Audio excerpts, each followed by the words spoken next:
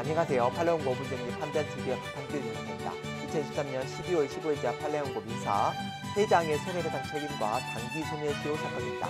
선고일은 2014년 10월 26일이고요. 사건 번호는 2024-236846 판결입니다. 이 사건은 이제 손해배상 사건이고요. 원고는 파산 관제인이고 피고는 전 임원들입니다. 그러니까 이제 파산된 회사의 전 임원들을 상대로 이제 손해배상을 청구를 했고 어, 피고들이 상고를 했지만 상고 계약된 사건입니다.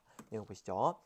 이 사건 이제 호텔의 이제 주식회사를 그러니까 호텔을 하고 있는 주식회사죠. 이 회사는 2007년경부터 구분 소유자들로부터 위탁받아서 운영을 했습니다. 예전에 그러니까 어그 약간 뭐 콘도형 호텔 이런 걸 많이 했었죠. 호텔을 지어놓고 각 방을 콘도처럼 분양을 하는 겁니다. 분양을 하고 평소에는 호텔로서 사용하는 거죠. 그래서 호텔이 수익이 나면 분양을 이제 분양자들에게 주고 또 뭐 분양자들은 가끔 와서 호텔을 이용할 수도 있고 뭐 이런 혜택이었는데 이 부분 이제 이런 그 하려고 했는데 2018년 3월 16일 날 파산한 게 됩니다.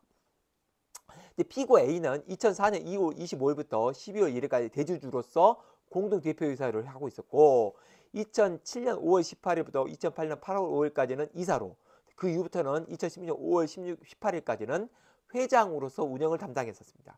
피고 B는 2006년 8월 2일부터 16년 5월 18일까지 대표이사로 재직하고 있었고요. 피고 C는 2007년 5월 18일부터 8월 2008년 8월 5일까지 감사, 16일, 16년 5월 18일까지 이사로 지정합니다. 그러니까 이 피고 A, B, C는 모두 2016년 5월 18일까지 이 호텔 운영하는 주식회사의 어, 회장, 대표이사, 이사 이렇게 재직하고 있었죠. 근데 이 사람들이 이제 그 회사에 대해 손해를 끼쳤기 때문에 파산 관제인인 손해배상 청구를 하게 된 겁니다. 문제는 이 주식회사의 이사 또는 감사의 임무 혜택으로 인한 손해배상 책임의 소멸시효입니다. 민법 제766조의 제1항의 단기 소멸시효 3년이 적용되는지가 이 사건의 쟁점입니다.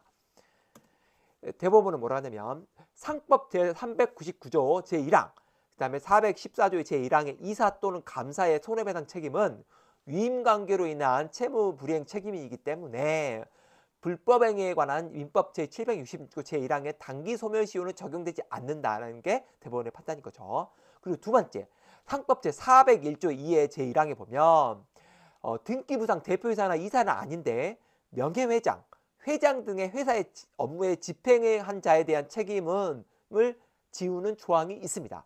그러니까 이게 우리나라에는 지금 어, 등기 이사가 아님에도 회장이라는 직함으로 사실상 회사의 경영을 관여하는 사람들인데 이 사람들이 등기상의 어, 이사가 아니기 때문에 책임을 물을 수 없었어요. 근데 이거를 해서 상법 제401조 2가 이 사람 책임을 묻게 된 거죠. 이때 이, 이 책임도 과연 그러면 채무불이행 책임인 것이냐 이게 문제가 되는 겁니다. 그래서 대법원은 이 사람들은 이사는 아니지만 회사의 업무에 관여한 자에 대하여 그 상관의 책임을 묻기 위한 것이기 때문에 즉 이사로 의지하여 책임을 묻는 것이기 때문에 역시 불법행위 책임에 의한 단기 소멸시효는 적용되지 않는다. 따라서 어, 채무 불이행 책임이기 때문에 어, 10년 뭐 상법이니까 5년은 가능하다라는 겁니다. 그래서 5년의 그 시효가 걸리고 여기 말한 민법 제760조의 3년 단기 소멸시효는 적용되지 않는다. 이게 이제 대법원의 판단인 거죠.